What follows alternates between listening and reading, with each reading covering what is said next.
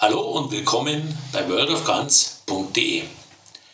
Heute wollen wir Ihnen einen ganz besonderen Perkussionsrevolver vorstellen, den Pettenschirl Double Action Revolver.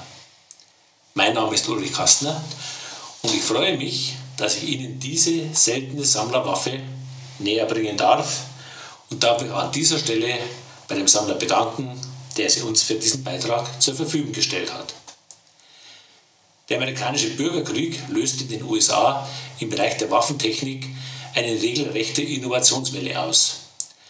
Mit seiner Entwicklung eines Perkussionsrevolvers mit innenliegendem Hammer ging C.S. Pettenschell bei der Entwicklung seines Revolvers einen eigenen Weg. Die Patenterteilung für den Pettenschell-Revolver, der ein sogenannter Double Action Only Revolver ist, erfolgte bereits 1856.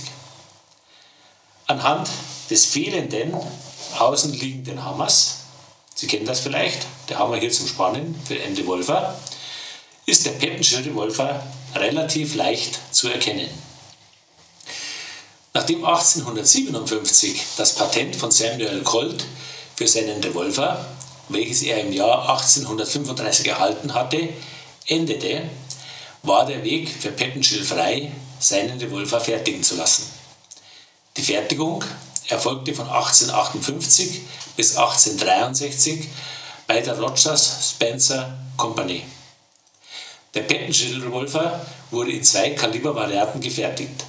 Für den Einsatz bei der Army wurde der Revolver im Kaliber .44 Black Powder ausgeführt. Die Marineausführung hatte das kleinere Kaliber .34 Black Powder. Zum Einsatz kamen Papierpatronen. Die beiden Varianten unterscheiden sich auch bei der Lauflänge. Die Navy-Ausführung hatte einen 4,5 Zoll Lauf, die Army-Ausführung einen Lauf in 7,5 Zoll. Beide Varianten hatten sechs Züge und es konnten sechs Papierpatronen geladen werden. Insgesamt wurden für die Army 2000 Stück und für die Navy 900 Stück gefertigt. Obwohl der Einsatz bei der Kavallerie für den Schützen wegen des Double-Action-Prinzips gewisse Vorteile hatte, konnte sich der Revolver insgesamt nicht behaupten.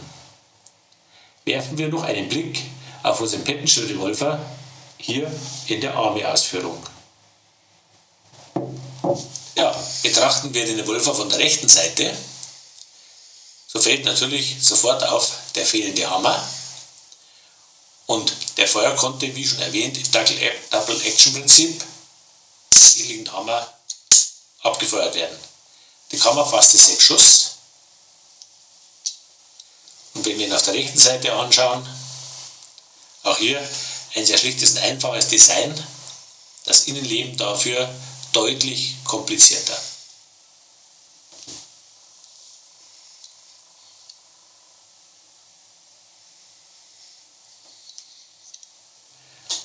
Vielen Dank für Ihr Interesse. Besuchen Sie uns doch auch auf unserer Seite worldofguns.de.